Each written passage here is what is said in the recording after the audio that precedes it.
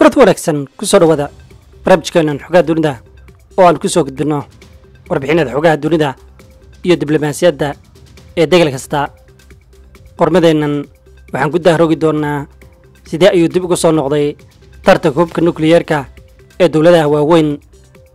Waa dalkee dalka haysta awoodda hubka difaaca ee uu iskaga difaaci karo nukliyeerka iyo xogo kale ayaanu idiin soo gudbi doonnaa batrik taka oo ah taftiraha tiknolojiyada ee defense one ayaa warbixin uu ku daabacay websaytka maraykanka ah. Wuxuu uga hadlay saamaynta isticmaalka tiknolojiyadu ay u leedahay saamaynta hubka ee nukliyeerka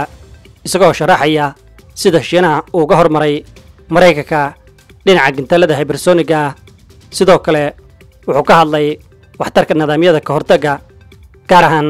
kadib markii doodani ay soo ifbaxday duulaanka ruushka ee ukrain madaxweynaha ruushka ayaa ku nuuxnuuxsaday dhowr jeer isticmaalka awoodda nukliyeerka toddobaadkani fiinland iyo swidhen waxay qaadeen tallaabooyin muhiim u ah oo ay ka mid noqonayaan xubnaha neeto iyadoo dagaalka ruushka ee ukrain uu weli walaac ku hayo reer yurub. Labada waddani waxay si buuxda u og yihiin khatarta ruushka uu ku hayo xubnaha neeto aan ahayn gaar ahaan kadib markii sarkaal ka tirsan kremlin uu uga digay fiinland iyo swidhen cawaaqib ciidan haddii ay isku dayaan inay ku biiraan isbahaysiga sheegashada ruushka ayaa dad badani ka walacsan yihiin in dunidu qarka ay u saaran tahay dagaal nukliyeer oo u dhexeeya labada quwadood ee nukliyeerka saddex waddan oo neeto ah ayaa haysta hubka nukliyeerka maraykanka boqortooyada ingiriiska iyo faransiiska. Maraykanku wuxuu haystaa qiyaastii shan kun iyo shan boqol iyo konton hubka nukliyeerka dhee kale faransiiska ayaa haystaa laba boqol iyo sagaashan. Hubka nukliyeerka ah halka boqortooyada ingiriiska ay haysato laba boqol iyo shan iyo labaatan. Ruushka ayaa haystaa hubka nukliyeerka ah ee ugu badan waddan kasta isagoo haystaa lix kun iyo laba boqol iyo konton iyo toddoba. Wadar ahaan khatarta la xidhiidha hubka nukliyeerka ayaa mar kale sare u kacday. Siday sheegeen madaxda saddex hay'adood oo sardoonka maraykanka ah oo dhowaan u sheegay sharci dejiyaasha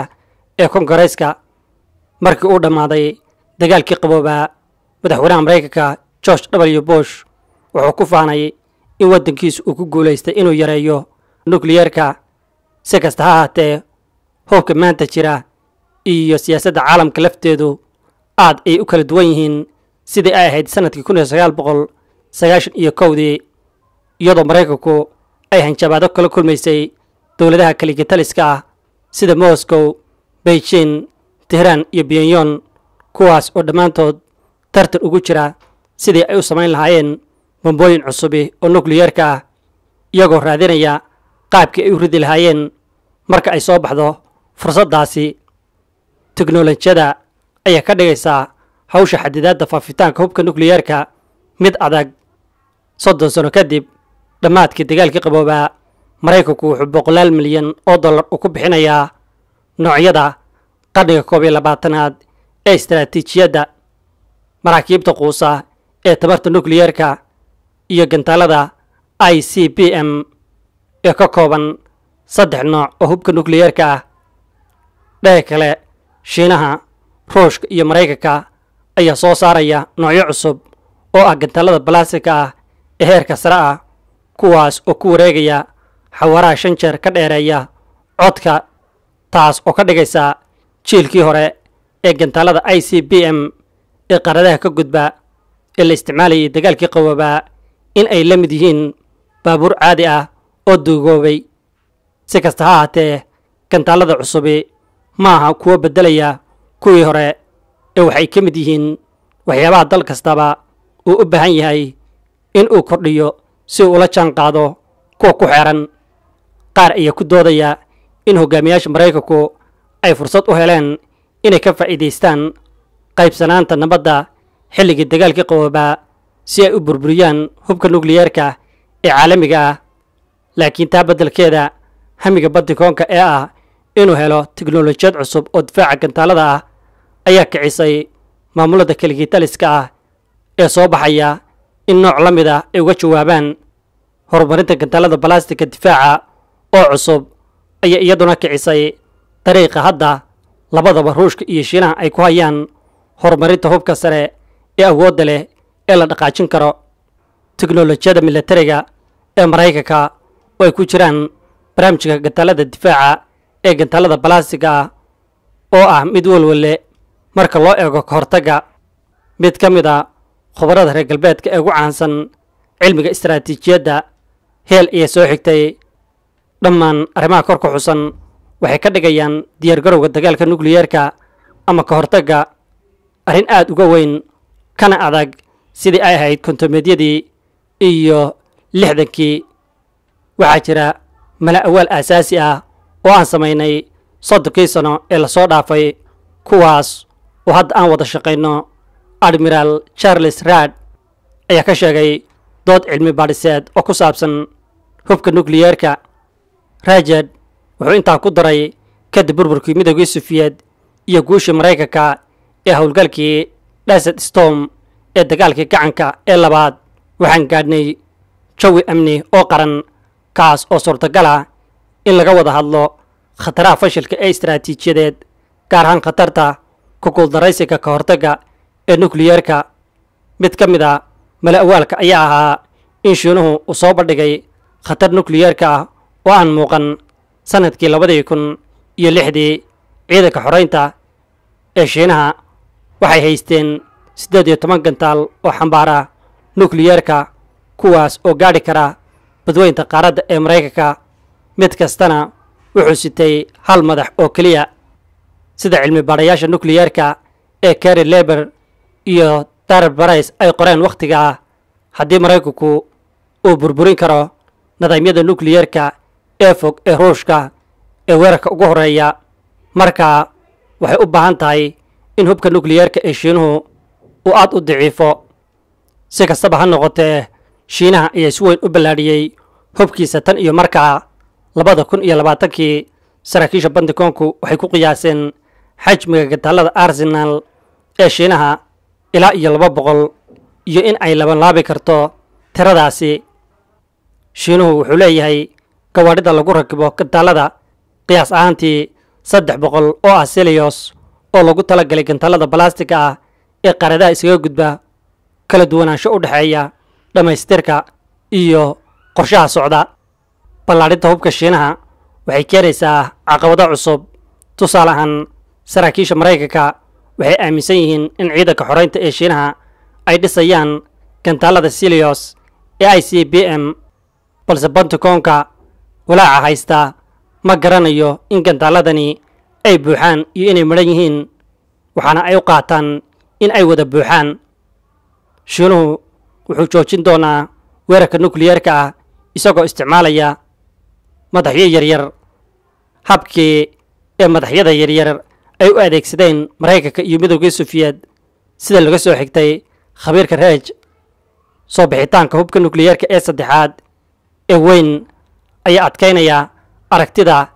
ee ka hortagga lafteeda. Sidee baa looga hortagi karaa iyadoo ay jiraan saddex awoodood oo tartamaya. Awoodda nukliyeerka ah dagaalkii qaboobaa wuxuu ahaa tartan u dhexeeyey laba dhinac oo keliya qorshaha militariga ee maraykanka ayaa beddelaya qeexitaankooda ka hortagga ee istaraatiijiyadeed. Dagaalkii qaboobaa inta lagu jiray dagaalkii qaboobaa ereyga inta badani waxaa lagu tilmaamayey dagaal nukliyar laakiin qorshaha maanta maraykanku wuxuu isticmaalayaa erey si ay ugu daraan hanjabaadaha aan ahayn nukliyeerka kuwaas oo yeelan kara saamayn xunxun sida burburinta awoodda cadowga. Si uu u arko ama uga jawaabo weerarka robert sover oo ahaa ku-xigeenkii hore ee kaaliyaha xogayaha hore ee difaaca ee nukliyeerka iyo siyaasadda ayaa sheegay in weerarka istaraatiijiyadeed ee noocan oo kale ah uu ka mid yahay weerar loo adeegsado hubka aan nukliyeerka ahayn ee ka dhanka taliska iyo xakamaynta nukliyeerka ama dayax gacmeedyada ee digniinta ugu horreysa markaa bishii februari labadii kun iyo koob iyo labaatankii ku-xigeenka madaxa shaqaalaha ee maraykanka waxaa si fagaaraha uu kula taliyey maamulka baydhan ee imanaya si loo hubiyo bayaanka soo socda ee nukliyeerka inuu ku jiro dhammaan hubka cusub ee cadowgu adeegsan karo ee waaweyn sida weerarada istaraatiijiga ah. Waxaa laga yaabaa in isbeddelka ugu weyn ee ka hortagga nukliyeerka uu yahay soo bixitaanka noocyada cusub ee hubka hybersoniga ah si ka duwan hubka i c b m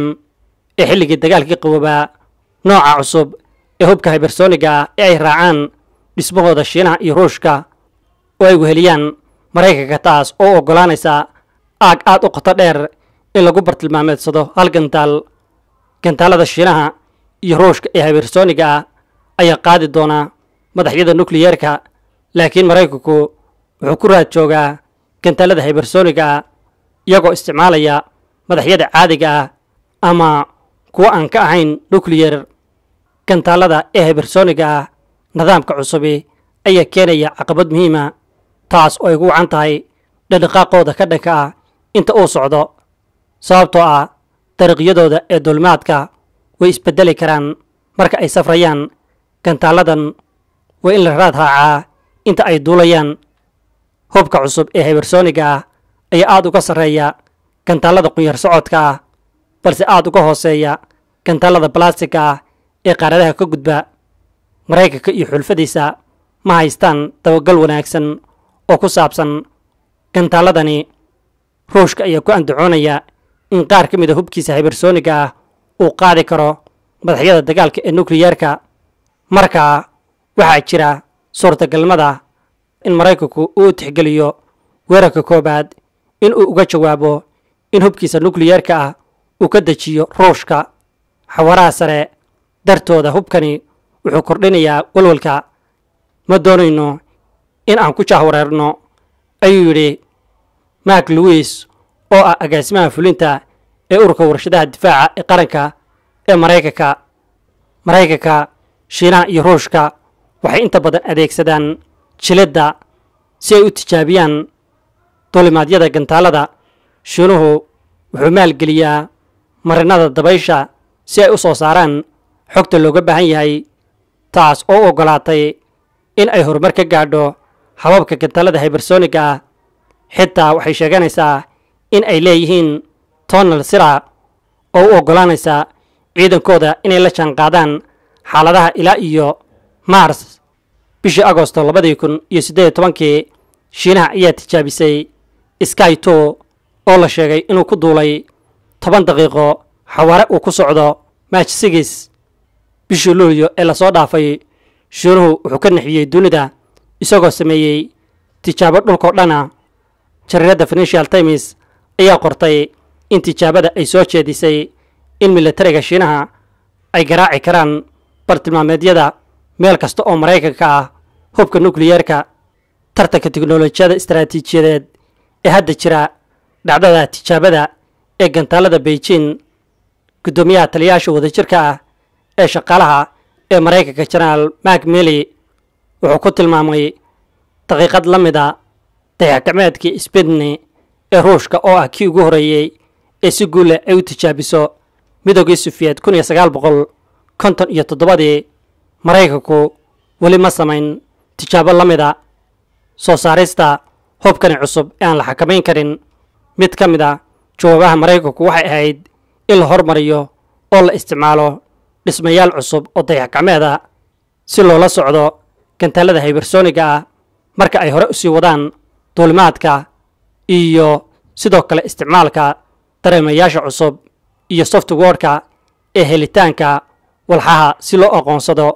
waxyaabaha ee gantaalku sido. Shiinuhu iyaguna waxay u tartamayaan sidii ay u horumarin lahaayeen difaacyada sare. Saynis yahanada ugu sarreeya beijing ayaa dhowaan ku faanay waxa uu ugu yeedhay derbiga weyn ee birta dhulka hoostiisa mara ee shiinaha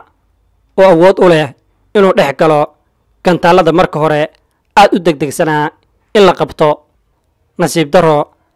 arrinta cajiibka ee cabsida leh hubka sare luwis ayaa yidhi gantaalada hybersoniga run ahaantii waxay ku siinayaan faa'iido badan oo ku saabsan hubka nukliyeerka aan lala socon karin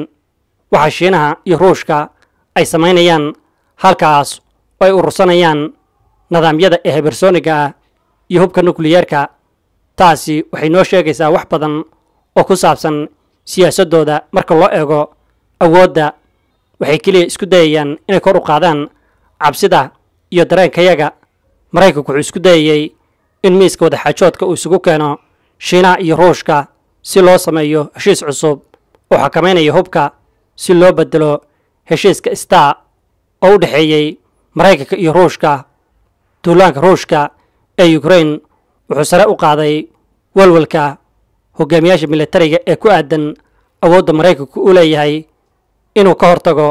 weerarka nukliyeerka ee ruushka ama shiinaha. Maanta waxaan wajahaynaa laba saaxiib oo dhow in ay ka siman yihiin awoodda nukliyeerka kuwaas oo awood u leh in si keli ah ay u kordhiyaan wax kasta oo suurtagala heerka rabshadaha iyo meel kasta oo adduunka ah. Qaab noocee ah ayaan u wajahaynaa ayuu yidhi raaj hogaamiyaha ee stratcom oo la hadlayay sharci dejiyaasha ee kongareyska dhowaan. Haddii istaraatiijiyadda